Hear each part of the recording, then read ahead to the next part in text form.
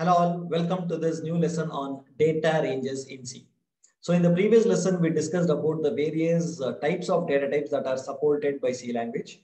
And in this lesson, we are going to discuss about the different ranges of values that can be stored in variables of various data types. Having said that, let's get started. First of all, what do you mean by a data range? So data range indicates the range of values that can be stored within a variable of a specific data type. It means data range will indicate the set of permissible values that can be stored uh, into a variable of a specific data type. Okay, so for example, in C language, we have four different types of data types, right? So first one is int, uh, second one is float, third one is double, and the fourth one is char data type, isn't it? So this data range will indicate the possible set of values or possible range of values that can be stored in an integer variable, the possible range of values that can be stored in a float variable, the possible range of values that can be stored in a char variable, the possible range of values that can be stored in a double variables. And that is why I told you data range will indicate the possible set of values or the permissible set of values that can be uh, stored in a variable of a specific data type right? So before looking into the different possible values for different set of uh, data types, okay, so we'll first understand what do you mean by these four important qualifiers, okay? They are short, long, signed, and unsigned, right? So let me explain these one by one. Short qualifier will indicate to the compiler to allocate two bytes of memory location for this integer variable a or in simple words, short qualifier indicates the compiler to create an integer that is of two bytes long, right? Now, long qualifier indicates to the compiler to allocate four bytes of memory uh, location for this integer variable a. Or in simple words, long qualifier indicates the compiler to uh, create an integer variable that is of four bytes long, right? Now, Signed qualifier indicates to the compiler that this integer variable a can hold both positive values as well as negative values, right? And unsigned qualifier indicates to the compiler that this integer variable a can hold only positive values right? So these are the four important qualifiers that you have to understand to understand the range of values or to understand data range, okay? So in the next slide, I've given you a, a table which will indicate the different range of values supported by different data types. So let us look at it one by one. So we have four columns over here. The first column will indicate the data type. The second column will tell you about the range of values. The third column will tell you about the number of bytes allocated. And the fourth column will indicate something called as format specifier. Okay, so let's not worry about the format specifier uh, as of now because I will be discussing about format specifier in a separate lesson when I'm discussing about printf specifically. So for now, let's just ignore this column and then we'll only concentrate on the first three columns. Okay, so let's start with the first example. So the first uh, data type is signed char right? So if suppose I create a variable a of type signed char, then the amount of memory that is allocated on the RAM for this variable a is one byte. And the possible range of values that can be stored within this variable a ranges from minus 128 to plus 127. Right. So similarly, if suppose I create a variable a of type unsigned char a. That is, if I create a variable A of type unsigned char, then the amount of memory allocated for this variable A will be one byte because it is of char data type. And the possible range of values that can be stored within this variable ranges from 0 to 255 right? So as you can see in the first example, uh, the range includes both positive values as well as negative values. And this is because of the qualifier signed. Whereas in the second example, you can see the, the range of values includes only positive values.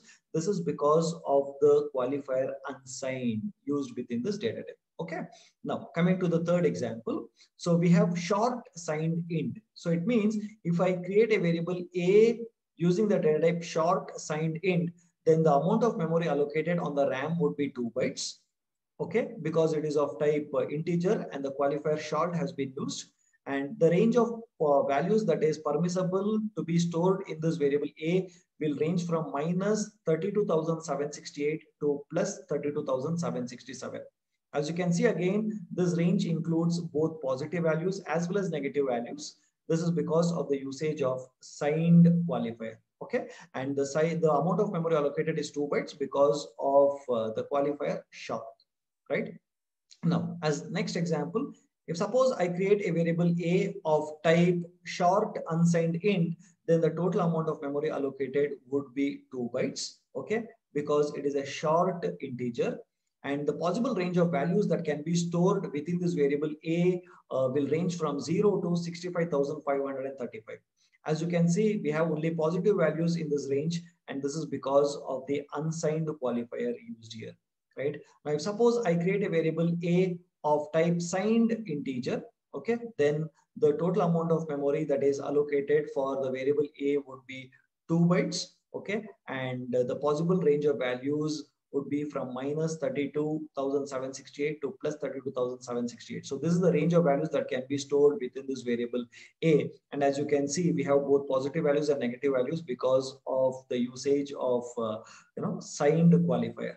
Okay. And now as a next example, we have uh, unsigned int. If suppose I create a variable a of type uh, uh, unsigned int, then the total amount of memory allocated for the variable a would be two bytes. Okay. And uh, because we have used unsigned qualifier, the possible range of values that can be stored within this variable uh, will be uh, is within the range 0 to 65,535. Okay. Now, if suppose I create a variable a of type long signed int, right? Then the total amount of memory allocated is four bytes because of the long qualifier and it is an integer uh, integer data type. And as you can see, the range includes from minus this value to plus this value. As you can observe over here, the range of values includes both positive as well as negative values. And this is because of the signed qualifier used here. Okay, as a next example, if suppose I create a variable a of type long unsigned int, then total amount of memory allocated for this variable will be four bytes. And the possible range of values that can be stored in this variable a will range from zero to this big number. Okay, as you can see, there are only positive values uh, as part of this range of values. This is because of the unsigned qualifier.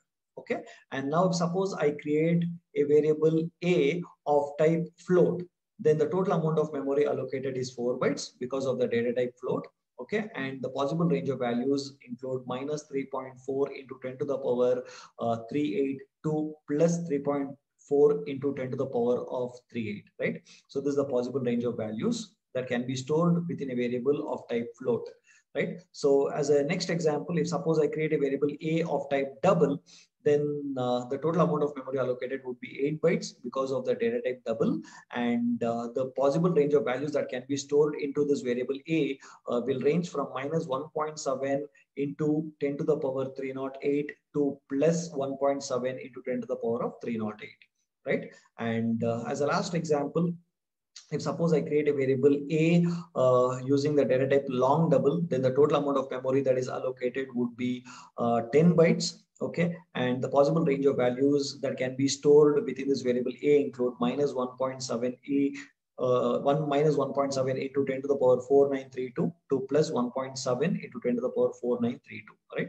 So these are the possible range of values that can be stored in variables of different uh, data types okay so and i also want to tell you one more thing that uh, the sizes and ranges of in short and long are compiler dependent. And in my current example, the sizes of this figure are for a 16-bit compiler. It means uh, when I say 16-bit compiler, okay, it means that if suppose I write int a, right, then by default, my compiler uh, considers this int as a short integer. And therefore, the amount of memory allocated for this variable of int a would be two bytes, right? So that is what I meant to say.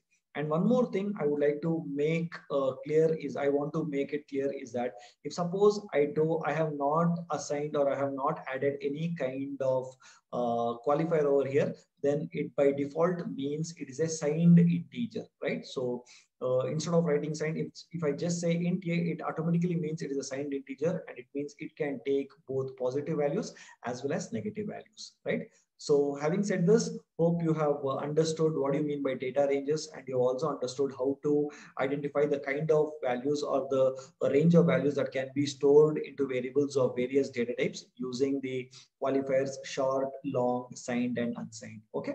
So in the upcoming lesson, I would be discussing about how to print these values using uh, a built-in function called as printf.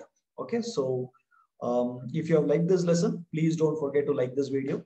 And also don't forget to subscribe to my channel as well as click on the bell icon so that you will uh, receive all my upcoming updates of all these programming series. Okay. So meet you in the next lesson. Until then, take care. Bye-bye. Love you all so much.